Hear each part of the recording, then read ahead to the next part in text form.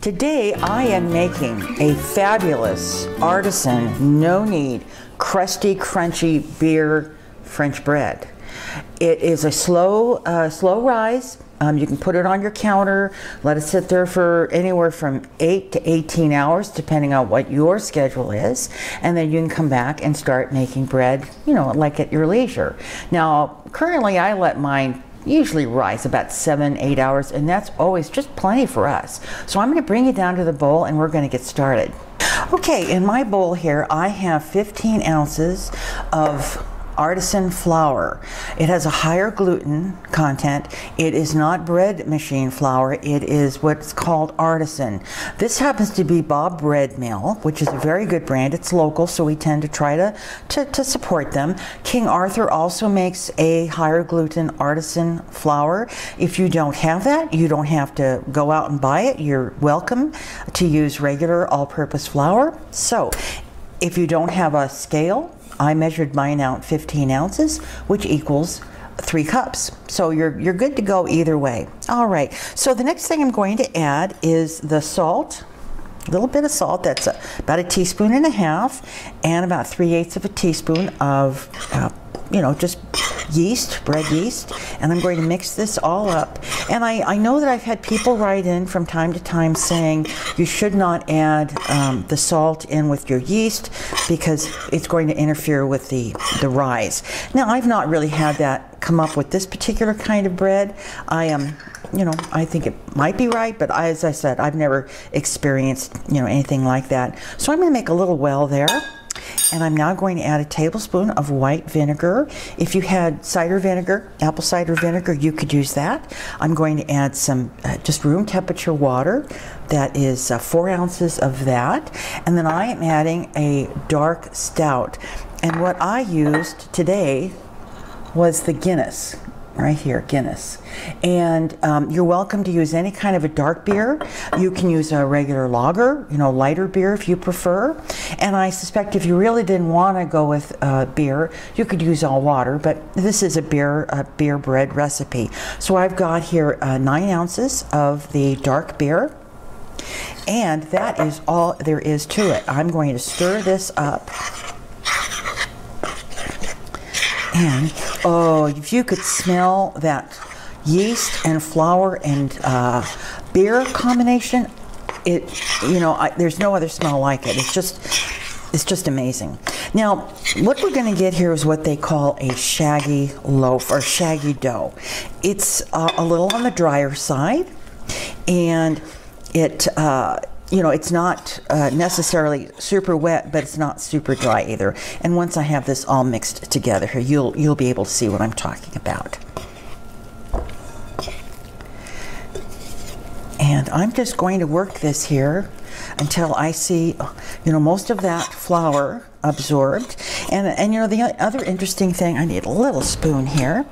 The other thing interesting about um, when you do make bread is that depending on what kind of a moisture day you have, you know, if it's really wet outside, it would affect your dough. And if it's uh, really dry uh, outside or inside your home, there, that looks good. Uh, that would affect also the, um, the dryness of your, your batter. Let's take a look in there. Now this, as I said, it's, it's what they call a shaggy, shaggy dough, and so it's not real smooth. And I am going to now just put some uh, plastic wrap on it. Okay, I'm going to put some plastic wrap on this going to set it in the corner of my kitchen. Uh, it's kind of a nice day here, so I don't feel like I need to put it into a warmer location, you know, other than, than the kitchen counter. If you had a really cold day, what you could do is you could uh, put your oven light on, and that would give you a nice little temperature in there of probably about 70 degrees, and you could set your dough in there, and it would, you know, have a nice warm environment to work with. So I'm going to let this rise seven to eight hours, depending on what my schedule is, and as I said, you could let this, you know, go for 18 hours and it would be absolutely fine. I need something to wipe my fingers on. So we're going to uh, let this go for now. And once I have uh, kind of a doubled up size, you know, it'll double in size, uh, we'll come back and I'll show you the next step. And what's going to be so much fun is I am baking this today in my, uh, my sassafras dome baker. And wait until you see that and wait till you see what kind of a loaf we're going to get out of it. It's, it's amazing. All right, we will be back a bit later. We are back, and it has been seven hours since I put the uh, the plastic wrap on my dough and set it aside to rise. So let's go down and we'll take a look, and we're going to get to the next step. Okay, I'll take this wrap off, give you a chance to see it. See, look at that. Look at that. It has just about doubled in size. And this isn't a dough that's going to go, you know, voluminous. Um, and I'm just going to take my little tool here, my little Tovolo tool, and I'm going to break down some of that, that gas that's in there, like so. Okay. And then I'm going to show you my beautiful sassafras dome baker. This is what I'm going to be cooking tonight in. And um, I've done a review on this and I will post it for you up above. And this is what I'm going to be baking my bread in. So we're going to look forward to seeing that be used. I am going to go ahead and toss this dough out on, I've got a piece of parchment paper here that I have just sprinkled some flour on. Now this is, uh, at this point, it's, it's kind of a wet dough. I'll show you. I'll show you my fingers when I touch the dough. And that's okay. We don't want it, we don't want it dry. No, no, no, we don't want it dry. Put this aside here. And you'll see my fingers. See, it's kind of tacky, right? So I'm just going to dust my hands a little bit in this flour and just just really just toss the dough over on its on its self to make sure all those air bubbles or you know the big ones are out of the out of the way.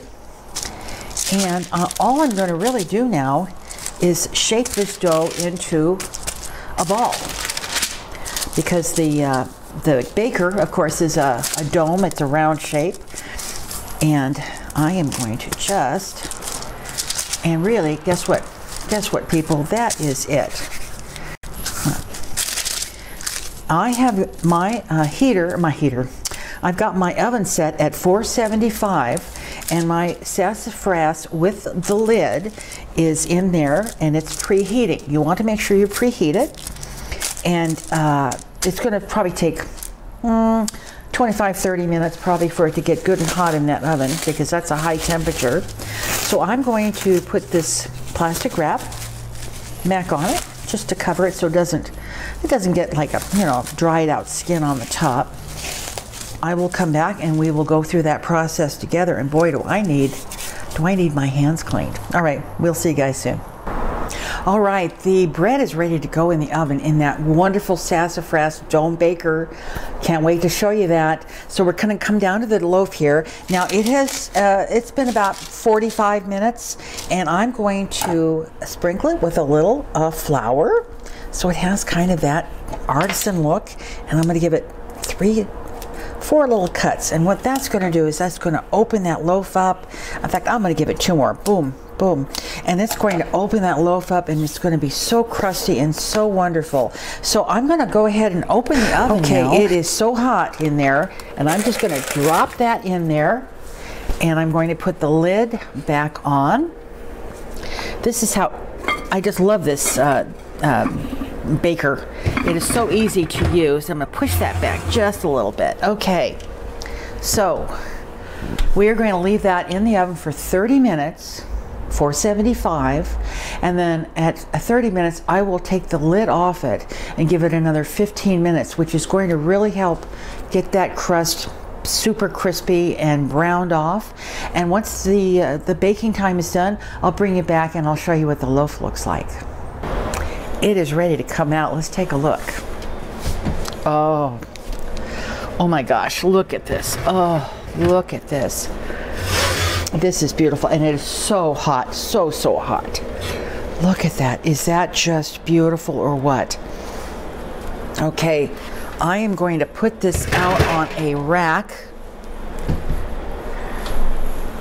and I am going to allow it to cool as, as much as we can let it cool before we want to take a sample of it. And when we're ready to cut into it, we will let you come back and take a look. This bread is done and we're going to cut it open and we're going to see how it tastes. Well, let's Here- give it the thump Yeah, test. Let's give it the thumb test. Mmm. Sounds good. Sounds good. Let's it- cut her open. Give it a cut. Oh, yeah. Mmm. Mmm. Shall we taste it? Oh yeah, We need to try this. I want to smell it. Oh, it smells so smells Oh, it good. smells so good. Oh, You can smell the beer in there. Mm. Mm. Mm. mm. Oh wow, Oh, that is good. it's such a great recipe mm-hmm. to begin with.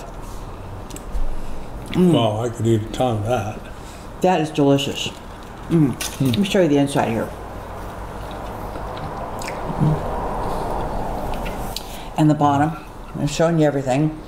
And the top. Now, we have got to thank the people at Sassafras. Oh, They have got a incredible product. They do. They do. That dome cooker, and I have the long one, and I will give you uh, links to all of those. And in the description box will be links to those, uh, both of those cookers. It's amazing what it does for a loaf of bread. I mean, really. Mm. Their bread is excellent. Outstanding. The recipe is mm. so good. And that mm. puts such a nice crust on it. Oh man. Mm. mm. Okay. You want that? I'm not proud. All right. Well, very good. Excellent. Always. I, I, we've made this bread a number of times, and now I've used that sassafras about six times, and I'm sold on that sassafras. All right. Is that it for now? What a great way to start the first day of spring. Oh, yes. Wonderful loaf of bread. All right, everybody. Thanks a lot for watching, and we will see you soon. Take care. Bye-bye. Bye.